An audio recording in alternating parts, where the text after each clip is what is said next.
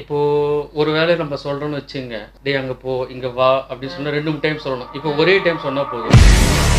ஏன்னா இப்போ அவனுக்கு வந்து விட்டு கொடுத்துருவான் லத்திகா வந்து சரி நீ பாத்துக்கோ நான் என் ஃப்ரெண்ட்ஸ் கூட வெளியே தான் விட்டு கொடுத்துருவேன் இப்போ வந்து அந்த மாதிரி இல்லை. என் குழந்தைகிட்ட வந்து பியா கிளாஸ்க்கு அப்புறமா நான் ஒரு சேஞ்ச் பார்த்தேன் அவரே எல்லாமே பண்ணிக்கிறேன் நாங்க எந்த இதுவும் பண்ணல. டாக்டரா தே குடின் பிலீவ் தட் நம்ம இப்போ மோனிகாவோட பேரண்ட்ஸ் கூட இருக்கோம். ஸோ டியா கிளாஸுக்கு அப்புறமா என்ன மாதிரியான சேஞ்சஸ் எல்லாம் டியா கிளாஸ்க்கு அப்புறமா இருந்தது அப்படின்னு சொல்லிட்டு அவங்க பேரண்ட்ஸ் கிட்ட கேட்கலாம். Good evening evening, ma'am. Okay so Premkumar கிட்ட என்ன எதிர்பார்த்து டியா கிளாஸ்ல போட்டீங்க? நம்பிக்கைன்றது கிடையாது. எதுனா ஒரு செய்ய சொன்னா போமா நான் செய்ய போமா கான்ஃபிடன்ஸ் இல்லாம அந்த மாதிரி இருந்தா. பட் அதுக்கப்புறம் கிளாஸ்க்கு நான் சும்மா ஜாலியா தான் அமிச்சேன். Okay. Actually they were already okay so இவங்களுக்குள்ள வந்து ஒரு கன்ஃபியூஷன் இருந்தது. ஓகே ஆக்டிவிட்டிஸ் சேஞ்ச் ஆகணும் அந்த ஸ்ட்ரீட்லயே இருந்தது எங்களுக்கு ஈஸியா இருந்தது. ஸோ என்ன ஸ்பெஷல்னு பார்க்கலாம்னு நாங்க போட்டோம் அப்படின்னு. ஸோ டாடி சொல்லுங்க உங்க இதுல. So basically, எனக்கு I was thinking like this is one more uh, coaching class as like like like uh, okay அவருக்கு வந்து ரொம்ப ஷை டைப்பா இருந்தாரு. அதெல்லாம் ஓரளவுக்கு இப்ப சரியாயிடுச்சு ஓகே. முன்னெல்லாம் வந்து இப்போ அகாடமிக் இதில் பார்த்தீங்கன்னா ஸ்டடீஸில் பார்த்தீங்கன்னா ஒரு கொஸ்டினை வந்து இது ஒரு த்ரீ ஹவர்ஸ் படிப்பான். உடனே மறந்துடுவோம் இப்போ வந்து ஒரு ஃபிஃப்டீன் மினிட்ஸ் போதும். ஒரு கொஸ்டின் ஆன்சர் எழுதிடுறோம் த்ரீ ஹவர்ஸ் படிக்கிற ஒரு விஷயம் 15 மினிட்ஸ்ல படிக்க முடியுதா? அது தமிழ்லையும் சரி இங்கிலீஷ்லையும் தமிழ் கொஞ்சம் கம்மியாக வரும். இங்கிலீஷ் கொஞ்சம் கொஞ்சம் ஸ்பீடாக பண்ணுவான். ஆனால் இப்போ ரெண்டுத்துலேயுமே வந்து டோட்டலாக ஒரு ஃபிஃப்டீன் மினிட்ஸ்லேயே வந்து கொஸ்டினும் எழுதிடுறான் ஆன்சரும் உடனே எழுதிடுறான். ஸோ டியா கிளாஸுக்கு போட்டு எவ்வளவு நாளுக்கு அப்புறம் உங்களுக்கு அந்த மாற்றங்கள்லாம் தெரிய ஆரம்பிச்சது?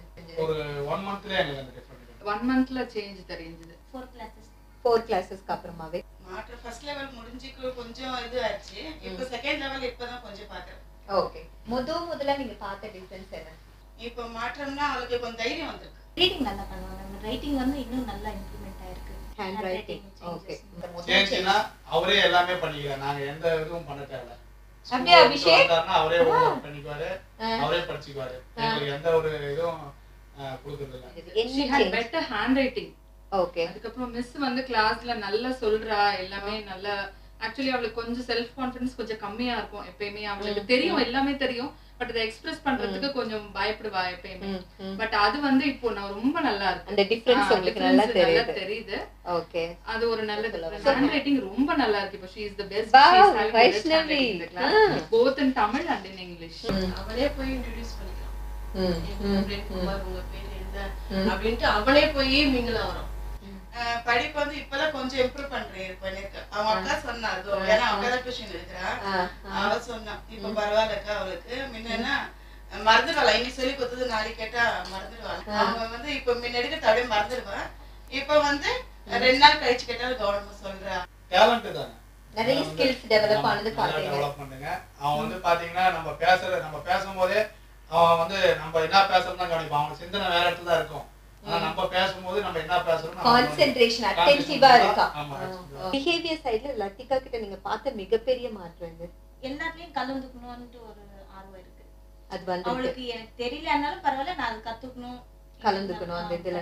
காம்படிஷன்லாம் வரும்போது கலந்துக்கணும்னு நினைக்கிறேன் ஜெயிக்கிறனும் இல்லையா? அது வேற. பிரச்சனை நான் பார்ட்டிசிபேட் பண்ணணும்னு participate நினைக்கிறேன் ஸோ டியா மாதிரி இருக்கிற கிளாஸ் இல்லைன்னு வச்சுக்கோங்க.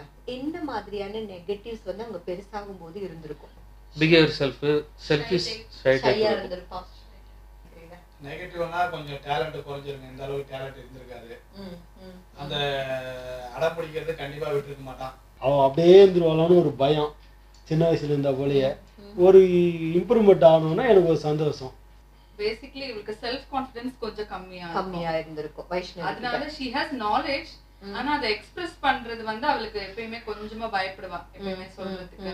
அது மேபி ஹிண்டர் பண்ணா நம்மளால அப்புறம் நம்ம படிச்சும் எதுவும் வேஸ்டா போயிருந்திருக்கும். எதுவுமே அது யூஸ் வெளியில எக்ஸ்பிரஸ் பண்ணலைன்னா முடியாது. ஓகே டியா மாதிரியான வகுப்புகள் நம்ம சொசைட்டிக்கு தேவைங்களா? கண்டிப்பாக இப்போ இருக்கிற சுச்சுவேஷனுக்கு கண்டிப்பாக தேவை.